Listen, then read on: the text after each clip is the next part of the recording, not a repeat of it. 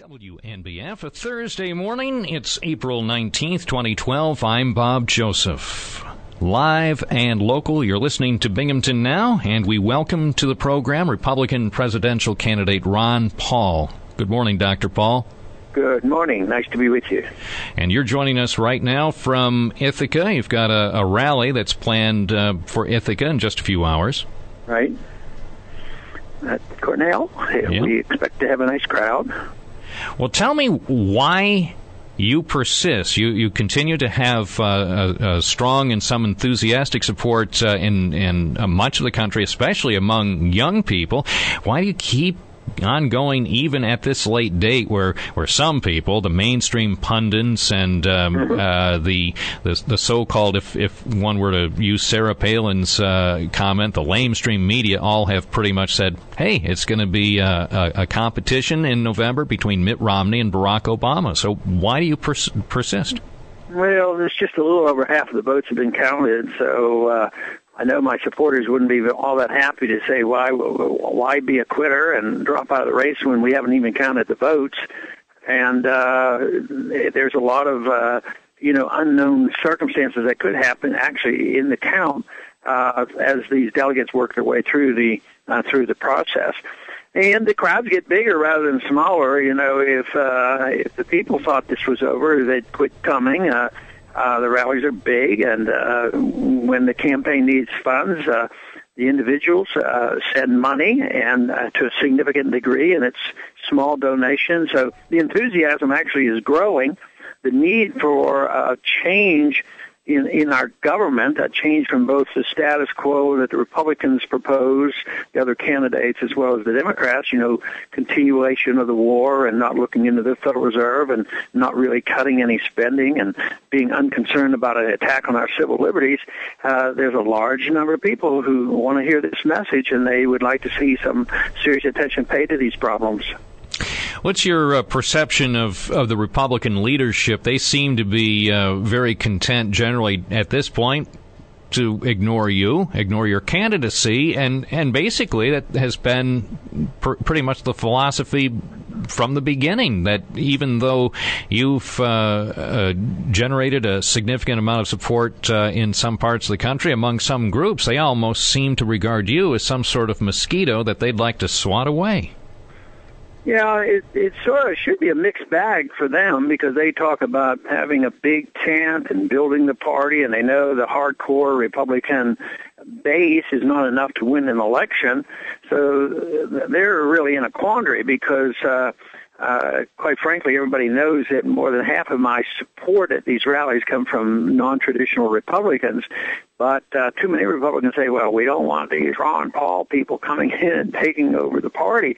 But if they want to win the election, they have to have an appeal to the independents. You have to win some Democratic votes, but uh, our rallies are very much, uh, uh, you know, uh, showing up with people, you know, from the Democratic side as well as the Independents. So uh, I, I don't know how they're in a dilemma too because uh, they don't want to give us credibility, and yet they can't uh, live without it. So they they think just sort of ignoring us and ignoring the problems and just saying, well, we'll go along with with this. We'll talk about maybe balancing the budget in 30 years or something like that, and the fiscal conservatives are going to be content about it, and not not offering a foreign policy that makes a little bit more sense than perpetual war and perpetual spending money overseas as the policeman of the world. The American people, especially these young young people, they see no sense in this. It's a con- major contribution to our, our problems, and it's unsustainable.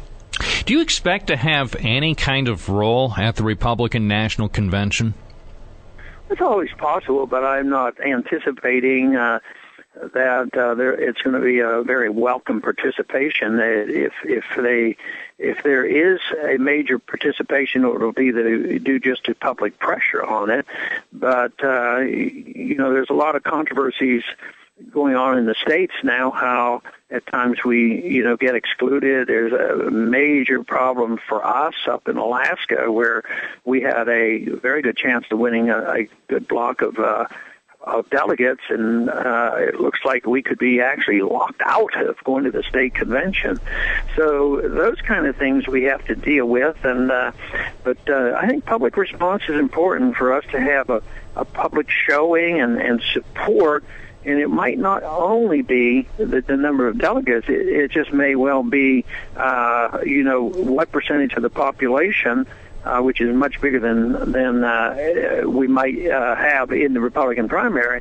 That is what counts uh, because they can. It's the independent move. It's, it's the hardcore base of the Democratic Party and the Republican Party. They don't decide elections. They're just there, and they're sort of the, the 20 to 30 percent. They're just sort of there. Nobody really budges them, but the rest are up for grabs, and I think that's where we have our, our best support. It's also the reason why I can do as well, and sometimes better than Romney, when my name is put up uh, against the president. What kind of relationship or rapport do you have with Mitt Romney? I would say it's it's it's uh, quite good in the sense on a social basis. Uh, we've gotten to know him and his wife and his kids. We see them, uh, you know, a good many times on the campaign trail, especially at the debates. It's always been very very friendly, but it's usually social. You know, we know there are five boys, and, and generally, no, we don't know them personally always, but we know what they do. I know one of them's a medical student, and and that sort of thing. But when it comes to politics, uh, you know, uh, his answers to the questions were quite different than mine, and he has a different foreign policy, and uh, he doesn't say much about the Federal Reserve, but he's not insisting, as our supporters insisted, we need to rein in the Federal Reserve and their ability to bail out their friends and create money out of thin air and finance big government. So our, our differences are pretty significant uh, in a political sense. When's the last time you were actually in touch with him, that you actually had uh, a chance to speak with Governor Romney? Well, I have to think about it, but my first guess it was probably uh, at our last debate, you know, and that's been, you know, several weeks now. So, if the uh, party's nominee turns out to be Mitt Romney, are, are you going to be in a position, uh, looking forward to November, to be able to support him in a, a contest against Barack Obama? Well, that's that's a real challenge. Uh, you know, I always uh, already see some of his statements mellowing a little bit. It depends on on what happens, but uh, just as I described our differences, it makes it real hard for me to not lose credibility. I say, okay, we fought you all along, and so we're going to endorse somebody that uh, endorses everything that I don't approve of. You know, uh, when it comes to foreign policy and civil liberties, I'm very concerned about what this president has done, assuming that he has a uh, authority to assassinate American citizens and arrest American citizens with the military and put them in prisons uh, without even talking to an attorney. Uh, those are very dangerous trends. So uh, I'd have to know a lot more about what his real position is on those issues. Are there signs to you that uh, Mitt Romney is uh, starting to employ perhaps that so-called etch-a-sketch strategy, where uh, now that in in the eyes of Romney and many Republicans, the um, the campaign for the nomination is over, and, and the focus is more on the general election. That he is uh, attempting to, in some ways, shake things up, like an etch a sketch, and, and perhaps reinvent himself uh, a, a, new model Mitt Romney in time for the general mm-hmm. election. Yeah, the etch, a sketch is a, a new term applied to something that's been going on for as long as I've ever been involved. I remember anything about politics. You run to your base in the primary. You always move to the middle in the general. The Democrats do it and the Republicans do it. Uh, so it, it's just a new term, but that happens all the time. You know, uh, uh, I, I'm, you know, I think we could find some things where Obama did exactly the same thing in the in the last election, and uh, and even now, uh, Obama's uh, tune is changing a little bit. Uh, and I heard somebody on TV today accuse him, you know, he sounded more like a Republican. You know, he said maybe we need more free markets and things like that. So I think that's commonplace. I think you can expect it from both. Uh, generally, they don't uh, uh, accuse me of. Uh, of, of moving around depending on which audience I'm talking to. You know, um, New York State Republicans are having their big annual dinner this evening in, in New York City. It's, I think, a thousand dollar plate dinner. So all of the um, not all, but many of the high profile Republicans in New York State, and along with, I, I believe, Newt Gingrich, are planning to be there at, um, at a, a fancy hotel in Manhattan. Well, you're going to be spending some quality time, not just uh, this afternoon, but this evening in upstate Ithaca, New York. Yeah, and I think that's sort of the way people see our campaign because we will be talking to a lot of people, and many of them will be uh, donors. But they usually, every time we have what they call the money bomb, when we need to raise money, and we just had one, we raised uh, almost a million and a half dollars in a couple of days. They're sending in twenty five dollars. I think the average donation is like fifty two dollars. Uh, so those those are the kind of people that come out, uh, you know, to the rallies and and for the support that we get. So it, characteristically, we wouldn't uh, be uh, generally identified with uh, uh, a thousand dollar a plate dinner in New York City. I know you do have uh, a private gathering. I, I, guess it is a fundraising gathering starting shortly. A, a little lunch with some of your uh, uh, ardent supporters coming up in Ithaca before tonight's public rally. Right, that is correct.